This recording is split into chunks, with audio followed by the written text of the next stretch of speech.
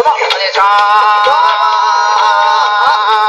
よろしくお願いしますありがとうございますはい、よろしくお願いいたします。改めて、ミキのお二人です。皆様、大きな拍手をお願いします。拍手ありがとうございます。ありがとうございます。えー、暑い中、すいません。ありがとうございます。もうだいぶお待たせした。そうですよね。えー、暑いですよね。今日はありがとうございます。お二人、改めて、今日よろしくお願いします。お願いいたします。よろしくお願いいたします。亜生さんも昴生さんもめちゃめちゃ素敵なお召し物ですね。そうなんですよ。用意していただいて、ね、はい。もうなかなかこういう仕事じゃないと着る機会ないですから、はい。今年でも5回ぐらい来てるんですよ、仕事で。本当ですか？はい。でもそれでもやっぱ涼しいですね。いいですね、こういうのは。あの普通の服と違ってやっぱ浴衣がいいですね。うん、涼しい。もう最後滑り込みですもんね。だってもう8月20日。そうですよね。ギリギリ、まだギリギリ着れる最後の最後のタイミングかもしれないので、最後の浴衣で来ていただきました。ちゃんと色も合わせてもらって、イメージカラーね、緑と、まあ僕別にね、そんなイメージカラーで茶色やってないんですけど、なんか無理やり多分。その偉い先生とか、茶色でって言うてくれはるまあまあありがたいです。ありがたいで、天島にぴったりですよ、二人とも。天島にぴったり。天島僕久しぶりにはい、初めて来たんですよ、天芝。あ、本当ですか？はい、僕すぐそこでアルバイトしてて、もうずっと高校毎日ぐらい来てたんですけど。何やってはったんですか、バイト？あの、夜行バスの受付やってやってましたね。そうなんや。長堀から自転車でここまで来て、で、ここでいろいろこうやって、また帰りに、それ言うな、いろいろね。そうこんな綺麗になってるとは。ね、だいぶね、いろんなお店もできて。そう、ご飯屋さんとかもいろいろあって。そうそう。はいすんね、タクシーがもうむしろ本当にもう避難場所みたいな。そうそう。そう本当に。時々そのタクシーの乗務員さんによってはやっぱ暑がりの人もいるから、はい、入った時に微風の時もある。そうですよ。やっぱりその乗務員さんあこれ冷えてるなっていうコツはあの乗務員さんが太ってはるかどうか 太ってる人の乗務員さんのところ狙う。と大体ガンガンに効いてるんで普通にめちゃ冷えためちゃ冷えたくしてでもそうこれはもう関係なくもうめちゃ冷え。そうなんですよ。もうあの乗務員さんがガリガリだろうが太ってようがめちゃ冷えです。乗務員さんに言われますね。冷え性の乗務員さんそうそうそう。そうねそうだから冷え性の人は多分ねこの仕事確かに。厚着をしてもらってねそうそうそう厚着してもらってちょっと頑張っていきたいと思うんですが改めてもうこの本当に暑い中こんなにもたくさんの方お越しいただいてメディアの皆様ありがとうございます。ありがとうございます。本当にメディアの皆様もう暑くて誰も笑ってないです。そうですよ。本当えー、ごめんなさいね。もうなんかやめやめとかもない。すごいすみませんね。あのね地獄のような地獄のイベント今日から今日また一日ここから仕事でしょ。今もう朝一で朝なくても申し訳ない。ありがたいありがたいですね嬉しいですよね。ちゃんとねメディアの皆さんにもそのめちゃ冷えアイテム後ほど多分プレゼントできると思いますので、ありがとうございます。はい熱中症対策していただきながら、そうですね。このねミキのお二人のスペシャルトークも楽しんでいただきたいと思うんですが、さあ日頃何かとねお忙しくされてらっしゃるミキのお二人なんですけれども、タクシーに乗る機会結構あると思うんですけどね。結構ありますよ。ね結構ありますよねやっぱりね、ちなみにお二人は週に何回ぐらい利用されますか？もうね僕はちょっともう毎日。毎日？はい。ビップはいあもうでしょその東京に今ちょっと引っ越したんですけども、はいはいはい家がもう全てのえー、まあ言うたらテレビ局劇場からも30分ぐらい全部かかるのであーなるほど。もうちょっと遠いところに引っ越しちゃったんで、もうそこはもうタクシー毎日。毎日、はい、あもうもしもしって言ったら大体様ですねって言われるぐらいこう予約でも声でもう分かるぐらい。常連じゃないですか。常連に会社にこうちゃんと契約してましたからね会社にこう言って吉本に言ってあのー毎日タクシー乗ってもいいですかっていうと で OK をいただいてそうです。東ね京に行く行きます。でもただそれに条件があります。毎日タクシーに乗せてください。って言って OK ですって言われてから僕は東京に行きますって言ったんで。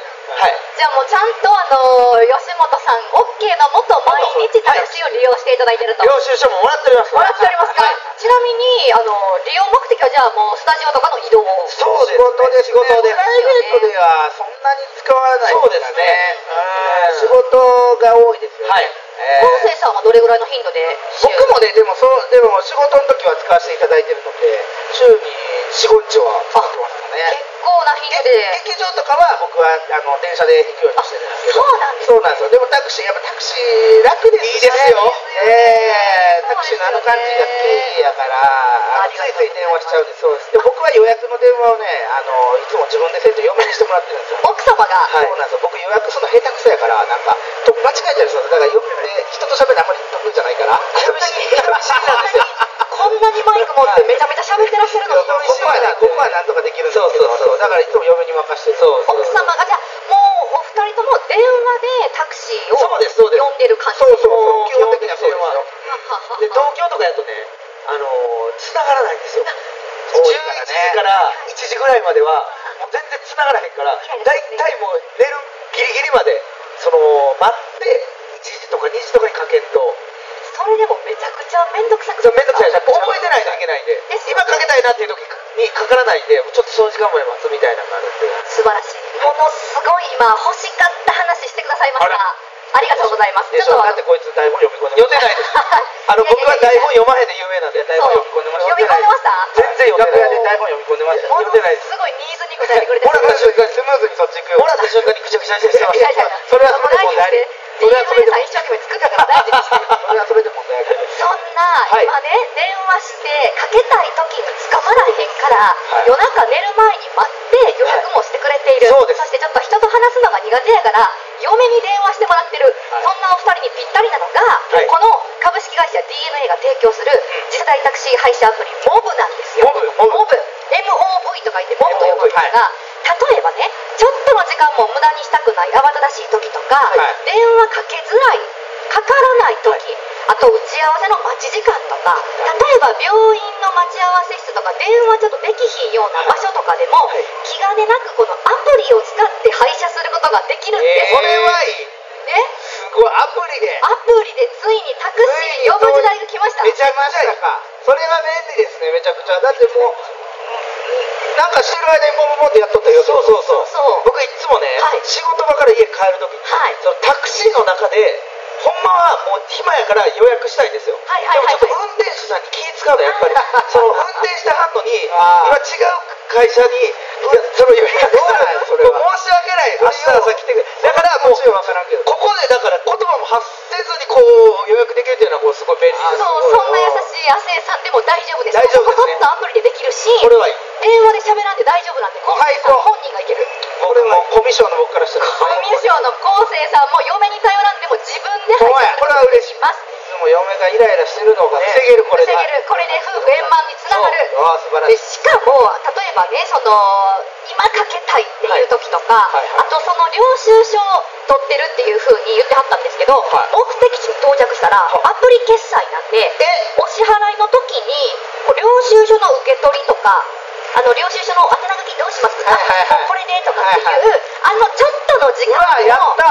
短縮できる。これはほんまその時間でどんだけ新幹線逃したことか。どんな領収書の話ですか。ほんまにねそれがなくなるって素晴らしいですね。素晴らしいでしょ？やった。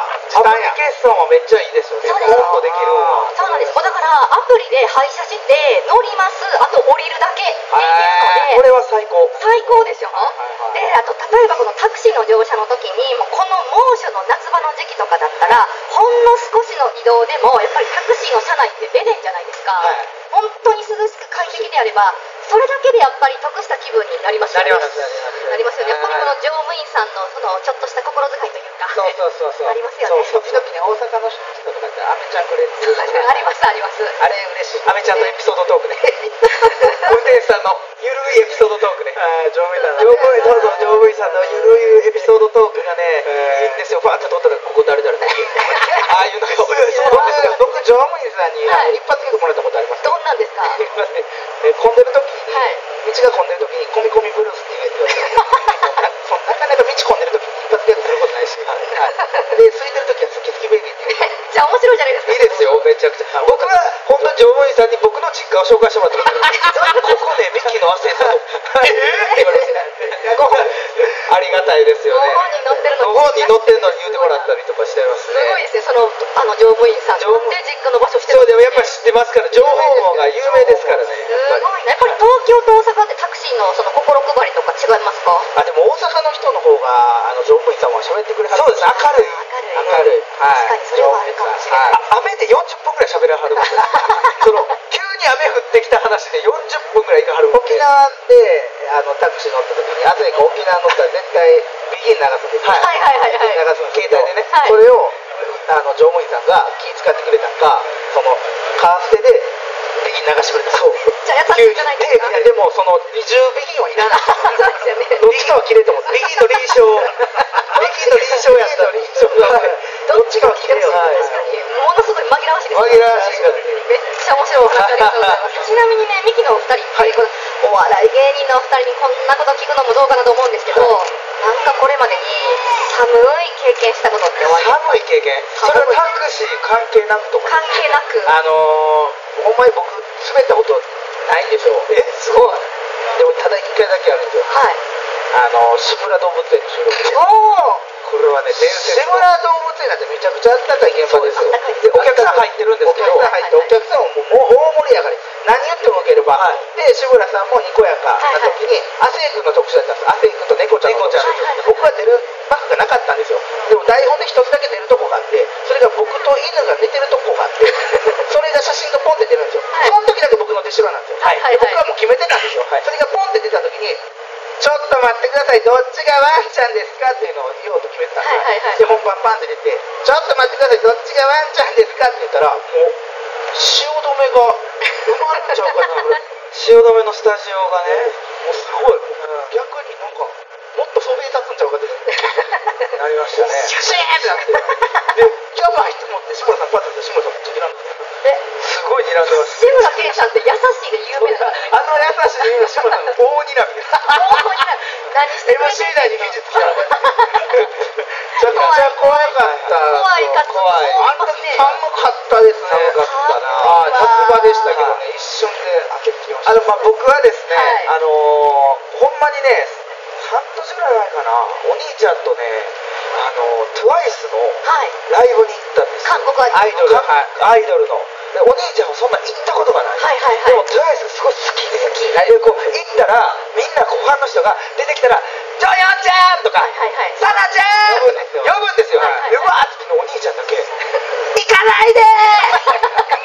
行かないでー!」この掛け声が来てくれたのにすぐどっか行ったら「行かないで!」ってもう寒い寒い一人だけちょっと泣きそうなやが「行かないで!」って言ってまあ寒かったなっていうあの体験はねもうしたくないです。もうしたくない、はい。一緒にライブにはもう行もう行きたくないね。そのエピソード喋ってるず えちょっと待ってください。いやそこそこ受けてましたよ汐留の時めちゃくちゃ滑ってました僕がなんとか僕がなんとか志村さんの大にらみとかでなんとかこう盛り上げました。二人ともね。なんかでも寒い体験。っていうそうことで。汗引きました皆さん、ね大丈夫です。かありがとうございます。ありがとうございます。記者会見で受けたこと一回もない。でも大丈夫ですよちょっとにんまり笑ってくれてはるんで今前の今じゃないです。これ眩しいからこんな顔する そのこの記者さんもねこういうのやりすぎててもう笑わない笑わない交代ができてるそう眩しいからこれが笑ってるっていう感じになるんですよ。暑いです。ねあれですねあでもほら真ん中の人とかめっちゃ今写真撮ってくれてありがとうございますありがとうございます。ありがとうございます。試し撮りでしょしてないうんうんじゃないそうですね、はい。じゃあ今あのミキのお二人で試し撮りしていただきましたところで、は大変お待たせいたしましたここで噂の、メジャー冷えタクシーをお披露目させていただきたいと思います。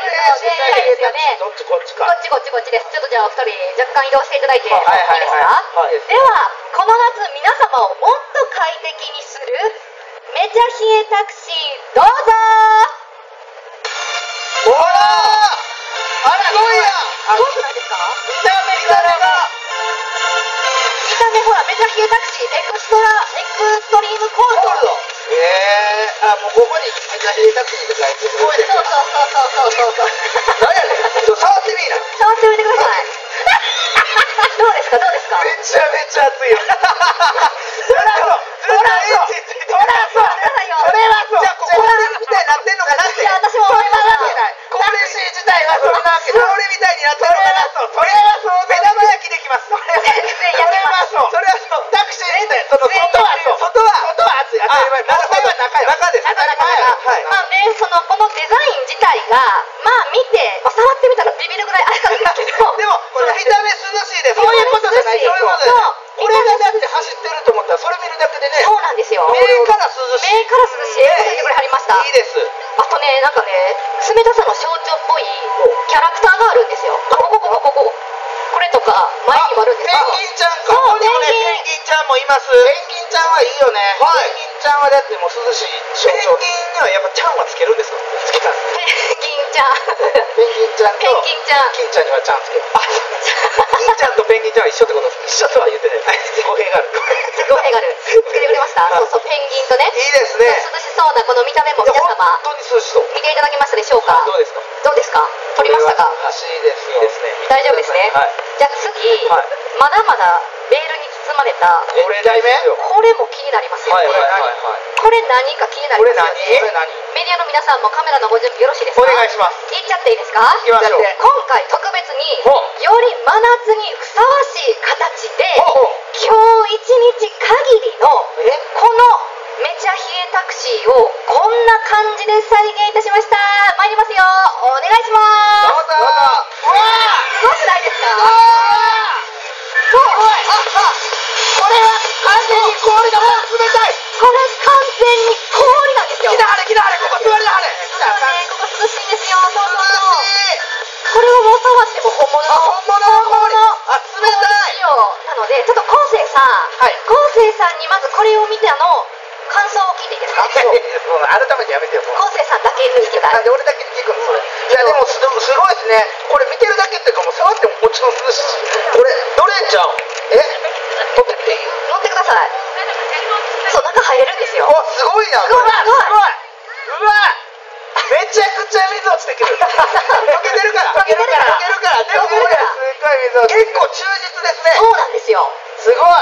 すごくないですか？すごいよ。へこの距離で涼しいですよね。めっちゃ涼しい。めっちゃ涼しい。嬉しい。嬉しいでしょ？近鉄タクシーの金はもうキンキンの金ですね。あまた滑りました今。ちょっと待って。早 いいやいい。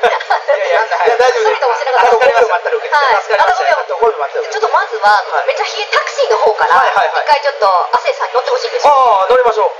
えこれこっちから乗っていいですか？こっちから乗ってください。えどんだけ冷えてんだろう。そう外はめっちゃ暑かったですけど。いいですか？いいです。どうぞ。入ります。入りましょう。教えてどうなってるか。あえますか？聞こえます聞こえる。涼しい。えあのね、はい。シートがまず冷たくなってます。おい、えよく気づいてくれはりました。あ冷却のなんかがあります、ー、えー、こっちですねお尻が冷たいんやもう。こういうものもこの何？扇風機。小型扇風機。あ小型扇風機もあんや。はい。小型扇風機もあるんです。そうなんです。備え付けで。でこれで涼んだりできる。車内が涼しいだけじゃなく自分で涼しくもできる。そう。そう。そう。へこういうこういうグッズもほらこういうっていうのやめて。どういう？自分で口で芸人やろお前は。てこれ多分大半見えてます？芸人やろ。この首から下げる。扇風機ああなるほど。首から下げるタイプの最近流行ってますからね。今やってますね。あこの体を冷やすグッズがもうクールシャツ。いっぱい備え付いております。ーもうとことん冷やせる。とことん冷やせるスリッパまであります。あそう。そう。その普通のタクシーとどんだけ違うの？下は。冷却のシートやから。下あのね冷えピタみたいな。あこれがもうまずお尻からすごい冷たくさせてくれる。え。ー、体感はどうなん？その冷冷房というか。冷房ガンガンめちゃくちゃいい、え。これはねあ汗汗一瞬で水どころうん。ピタッと止まるね。ー、あそう、うん。それはいいな。これはいいわこのこれでもラッキーよねこれ乗れたらそうなんですよ。これねそう今ね亜生さんがおっしゃってくださったみたいに常時車内を冷房だけでなくさまざまなめちゃ冷えアイテムを搭載して運行するんですよ。でこのめちゃ冷えタクシーなんですけどモブアプリのマップ上に氷で表現されたタクシーアイコンが出現しまして配車すると乗車した瞬間から猛暑の今日みたいな日とかでもタクシー車内でまるで別世界にいるようなめちゃ冷え体験を楽しんでいただけるんです、そしてこちらのめちゃ冷えタクシーはモブアプリを通してめちゃ冷えタクシーが乗車可能範囲内である場合無料で配車乗車することが可能なのでぜひ詳しくはモブアプリで確認していただきたいと思います。いいですね。いいでしょう。そしてね、はい。さらに大阪と京都でこのモブを利用した配車でタクシーに乗車してくださったお客様にはめちゃ冷えグッズを先着で3万名様にプレゼントさせていただきます。すごい。3万目。三万目なかなかないですなかなかないでしょ素晴らしいそうそうなんですよ。素晴らしいでしょ。はいねすごいですよね。これ中もね青でちょっと統一されててね。でもやっぱりいいです。乗っててもやっぱ涼しいから。よかったそれは、あなるほどね。視覚でも楽しめるそうそうそう。早降りろや。もういいですよ。亜生さん帰ってきてください。いや汗。めちゃめちゃ涼しいからやっぱり居心地いいから。ちょっと俺も体感したい。でもダメなんです昴生さんはそっちねダメなんですよ。こっちこっちこっち乗車拒否です。すいません。こっちちょっと一回入ってってください。ちょちょこっち濡れるのよ。でもいいよそっちはめもう涼しいから。いや涼しいかしらんけど濡れるのよ。でも水も滴るいい男って言うじゃないですか。よいしょ。よいしょ。冷たいと涼しいは違うねよ。いしょ。もうだって後ろの氷がもう滝のようになる。そのもう溶けるスピードがえげつないんでいや冷たい。俺もどうどうしてもびしょびしょなのよもうもうすごい南極やったらもう地球の終わりやこれ終わりですねこの景色すごい冷たいでも中はね涼しいい。ですね。いいでしょ？うん。いいでしょ？でまあ昴生さんにはちょっとまあ実際にこっちのモブのタクシー乗りたいなって思ったらあの自分でモブアプリから配車していただきたいんですけどここにあんのに。ねここにあんのに今日はちょっとダメなんです。そうなんです。青そりゃの写真はい。ありがとうございます。でここでお、まあ、ミキのお二人だけでなく、さらにさらにこのステージに花を添えていただけるサプライズゲストが実は誰？スタンバってくれてるんですよ、え？サプライズゲスト？ば氷といえば。冷たいといえば。冷たい冷たいといえば。はい。いいですか？冷たい。強めですか？じゃあ確かに氷みたいもんな。感情ないもんでもあのお前は強調してくれよはい、いきますよ。この方々です。よろしくお願いします。誰？ああー！すごい。そうなんですよ。ちゃくちゃタクシーのね、デザインにもなってますが、めっちゃ可愛い可愛いでしょ。淡島マリンパークから駆けつけてくださいましたケープペンギンのコメちゃんとさくらちゃんとちゃんそう飼育員の栗原さんですくにちゃんくにちゃんはいいのよくにちゃんちゃんよろしくお願いしますコメちゃんとさくらちゃんはいそうえー、かわいいネクタイしてるあらネクタイもして女の子ですかコメちゃんとさくらちゃんと、コメ君の方が男の子で、はい、皆様から向かって左手ですね、白黒の顔をしているのが大人のコメ君と言います。ちょっとカラフルっぽい顔をしているのが、これまだ子供の姿で0歳なんですが、えさくらちゃんは女の子です。えー、女の子なすごい。なあこれで分からないのどっちやろああす。すごいな。これすごいですよね。こっちがコメくんね。どうみーちゃんちょっともう眼鏡外して眼球だけ近づけていい？多分えぐられたらどう思いますそんなんは しませんこのイベント終わりやろ そんなんはしませんけど。もえぐられたら終わり？一回目眼鏡外して眼球こう近づけてください。えぐられたら終わりや。ろえぐられたら終わりじゃないどうなるかみたいみたいやね。終わりやこのイベント終わるのすごいですね。なんかお兄ちゃんの方に寄っていってますもん。すごいすごい。珍しいんかな。うわす結ごい。構ペンギンは目がいいと言われてて、人のこともよく見てますので、興味の向く方には結構顔を向けてくれることが多いです。ごめんちゃん。かわいいえこんな間近でペンギン見ることないのすごいな。かなんか腕あれですか？なんかコインロッカーかなんかに財布をつけてるあ違いますよこれ。腕には。えこれなんかつけてる識別のねベルトですよね。はい、そうです。はい。いい。かと思いまし違います。違い。ますラクダ代わりで、ラクダ代わりはい、腕にカラフルな輪っかをつけてます。ペンギンさんが何の財布預けるんですか？預けるんですか？何に使うのペンギンは？そう。お金。うわ大喜利逃げるな。うわ大喜利めちゃめちゃ逃げるやん。めっちゃ逃げるじゃないですか最後の最後で。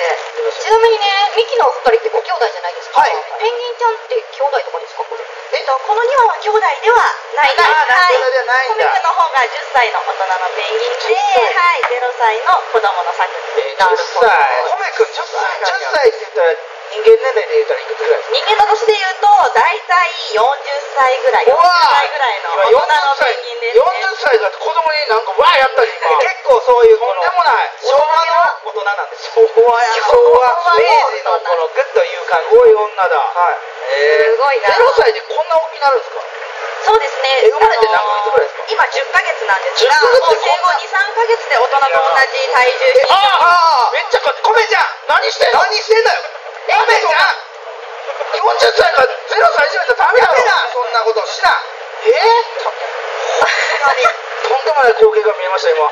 とんでもない光景でしたね。仲悪いんですか？いつもこんな感じ。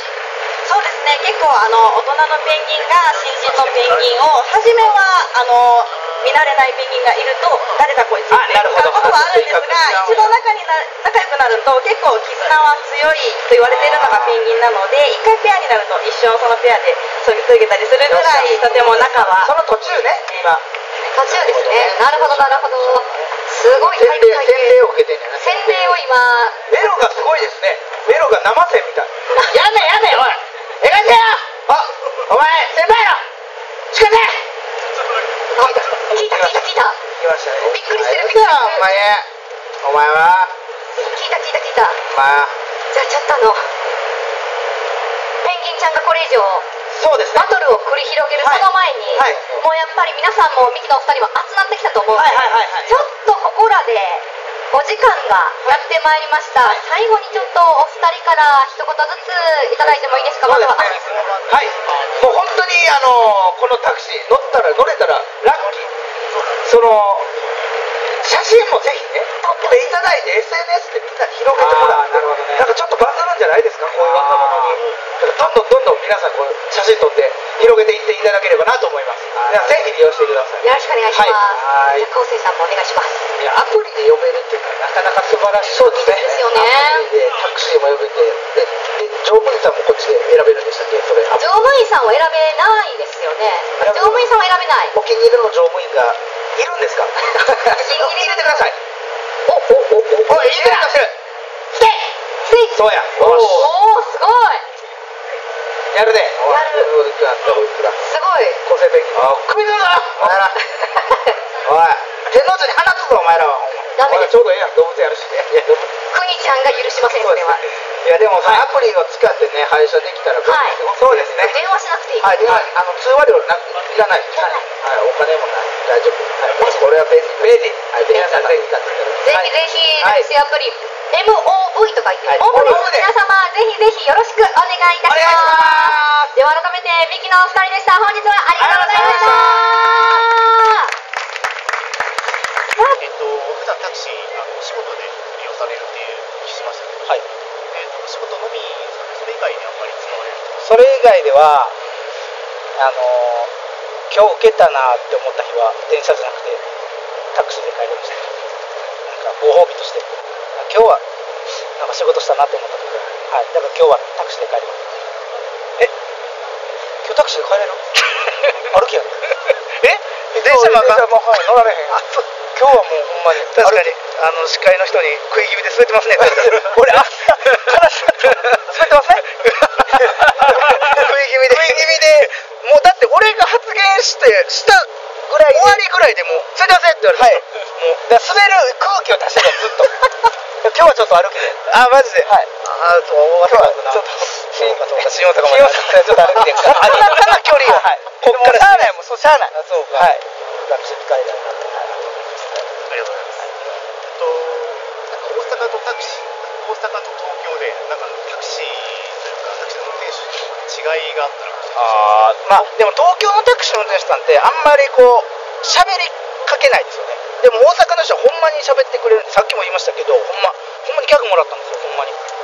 コミコミブルースと好き好きベイビーっていうギャグもらって、まあ、一回も使ったことないですけどそのあのどっかにいます多分。そのどっかに回っててあの自分のあ小銭入れがあるんですけど小銭入れにあのサインもらってんねんって言ってはってそのおっちゃん。であのミキのお兄ちゃんも書いてやって書いたんですけどめっちゃサイン書いてあったんですよで「わ結構書いてますね」って言ったら「いや8割ぐらいタージンやってました」そのタージンさん8割ぐらいタージンさんのサイン。東京のそのまああの乗務員さんは結構この僕って分かっててもそんやんわり外側聞いてくるんですよ。そのなんか何されてるんですか？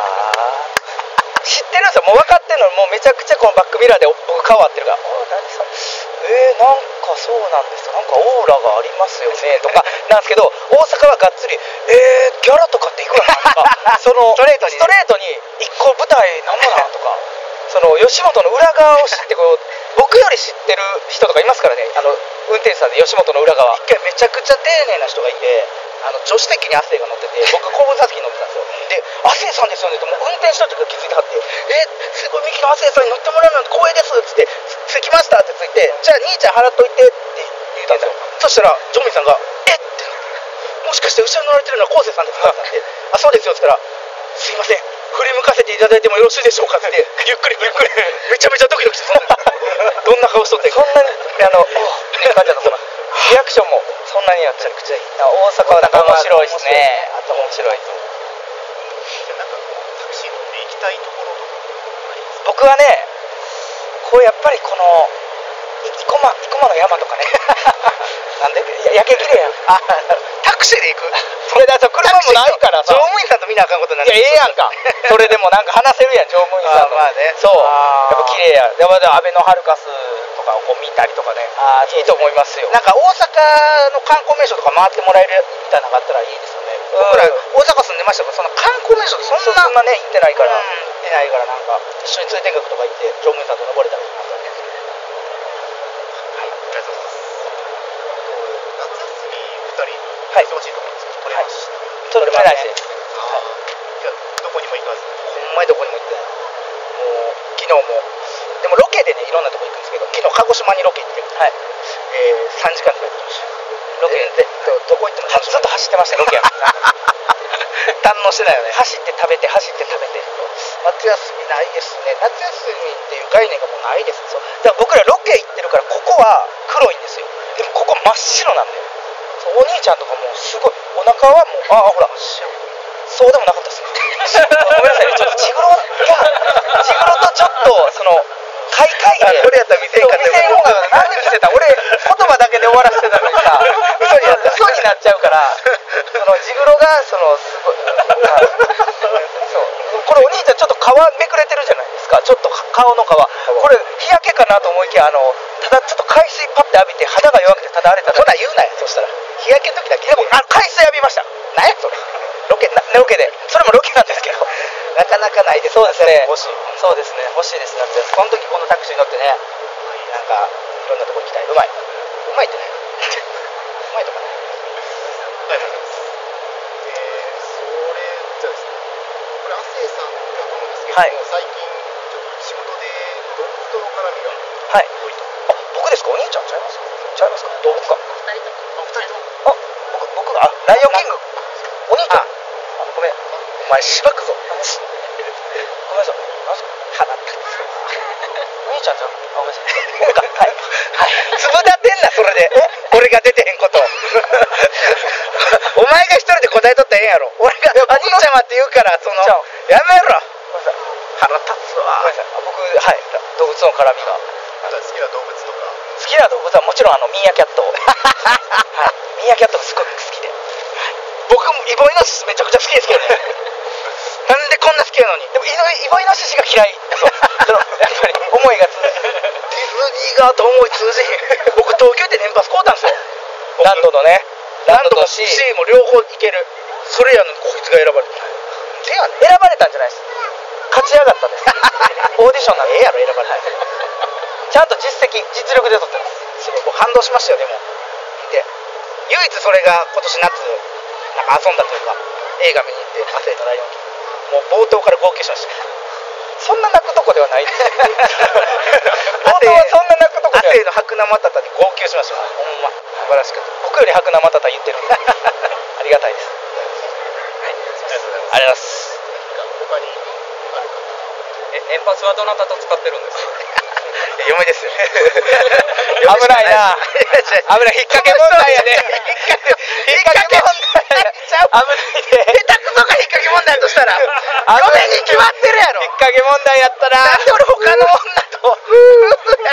俺がここでクールにすんなんなんお前は。汗かくね。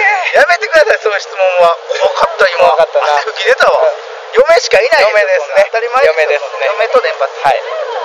奥さんほんまに感情ないんですか？でもほんまに感情ほんまにね感情ない。ほんまにそのねあのはいあのミキで笑わない。まず。あの単独ライブとか、はい。毎回来てくれるんですけど、はい。あのうちのお母さんとあの横に並ぶんですそうそうそうそう。おかんが気使うぐらい笑わない そのマミちゃんなんなん？あんたらのことが嫌いなんっていうぐらいその笑わない。すごい。ほんまに、はい。全然笑わない。僕は全然ハマってないもんねそれやっぱりで出会ってから僕で笑ったことない。この間もネタ番組で僕らの時笑わへんくて東京03さんの時めっちゃ笑ってましたね。大爆笑して大爆笑。なかなか、ほんまに感情ない。亜生さんと結果的にはい。タクシー乗り交渉会社とされたってはい直近あの会社との話し合いっていうのはあったんですか出た。出た。そこによくつなげましたね。繋がってないですですよ。うまいうまいですね。繋がってない喋っちゃいそうです。喋っちゃいないからそんなマジであ話し合いほんまないですほんまにほんまにはいはい。なないっていうか、まあ、一回なんかそういうなんかメンタみたいなのありましたけど、それ以降はね何も何もない全員やってるやつなんでね。うん。多分何も,、はい何も。会社もなんかもう今とりあえずやっとかなあかんなみたいな 気持ちで、はい。はい。あの僕らが見る限りですけど何にも変わってないです。今まで通りです。今まで通り、今まで通り素敵な会社。素敵な会社